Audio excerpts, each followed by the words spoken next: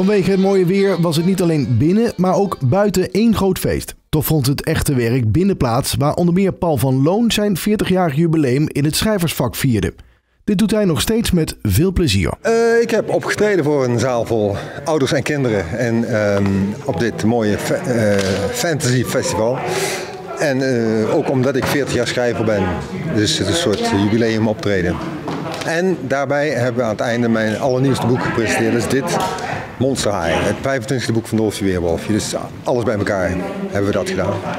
Het leuke aan het schrijven is dat alle fantasieën die je in je hoofd opdoen, dat je die uh, op papier kunt zetten.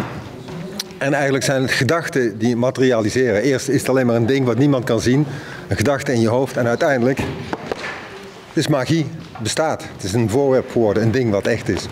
En dan kunnen heel veel kinderen het lezen. En ik weet dat heel veel kinderen er gelukkig van worden. Dus dan is het een mooi beroep.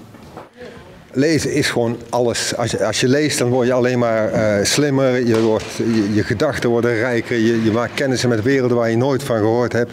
Het is goed voor je geest, het is goed voor je fantasie. Het is overal goed voor. En als je niet leest, dan mis je een hele hoop. Verder gaf Spelslot je de gelegenheid om in de wereld van Dungeons Dragons te kruipen. Voor beginners en gevorderden was er genoeg te doen.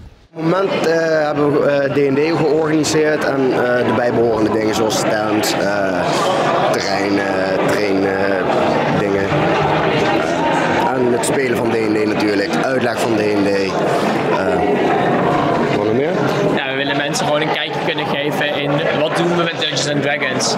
mensen komen hier binnen, kunnen zich inschrijven om mee te doen met een van onze live sessies. We hebben sessies van 20 minuten en 40 minuten, echt gebaseerd op beginners. dus daarin wordt vanaf het begin verteld wat kun je doen. Heel simpel. Uh, Dungeons Dragons kan heel lastig worden, maar we beginnen heel simpel. En uh, op dit moment uh, ja, zitten al onze tafels vol. Hebben we snel nog een extra tafel erbij gekregen omdat meer mensen willen spelen dan wij hebben.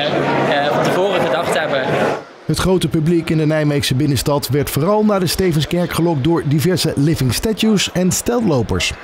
In de kerk werd er uit verschillende boeken een hoofdstuk voorgelezen en was er een fantasymarkt.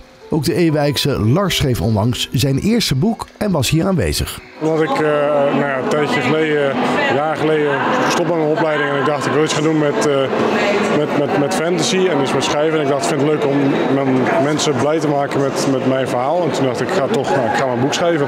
Mijn boek gaat over, uh, over Calimir, dat is de hoofdpersoon. Het gaat, speelt zich af een beetje in de middeleeuwen. Um, en daar gaat hij als buiten samen, komt hij bij een groep met, met ja, eigenlijk van allerlei soorten mensen waarmee hij vervolgens gaat proberen bepaalde mysterieuze te, te ontrafelen en, uh, en probeert hij uh, ze te helpen in, in de komende oorlog.